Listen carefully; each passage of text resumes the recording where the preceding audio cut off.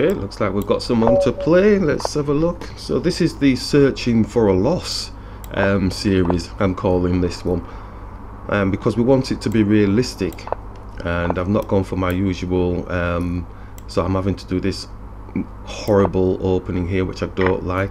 I am searching for the loss because I need it to be realistic for the actual competitions. I'm usually the 50-50 man at the minute my tally online is I've not I'm not losing a 90 minute 10 second game. That ain't right. So I need to get a loss. And I'm not looking I'm not going to lose on purpose. I'm playing my normal game as best possible. Obviously we usually do do this move here to prevent this position. Really don't like this position at all.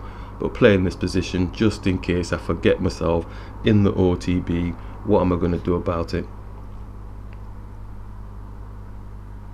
but yeah it's got to be realistic you know? It's it builds your confidence up when you're playing online you know? Oh yeah fantastic I'm winning I'm winning I'm winning all the time.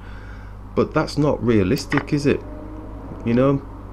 When you go to real overboard competitions well for me I'm not winning all the time so I need to be what is this? Let's focus now. Okay so we can take this knight. Is he secretly stealthing here somehow Oh, you're joking me. They've resigned. That was... what? I just can't. I can't find a loss. People, come on now. This is getting ridiculous.